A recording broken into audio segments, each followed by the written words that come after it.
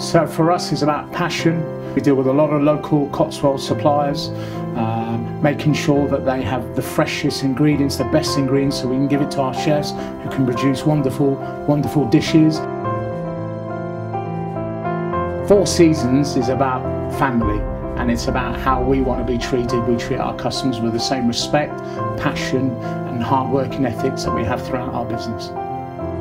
The best thing we love at the moment is all our stuff from Rungis and Milan Market, all the quirky gear, the leafy lemons, the, the large oranges, the Gordano, the Castelfrancos, the bunched artichokes. We love all that kind of uh, produce in our building because it just gives us a different, different take on what is outside the world and what the chefs can do with it.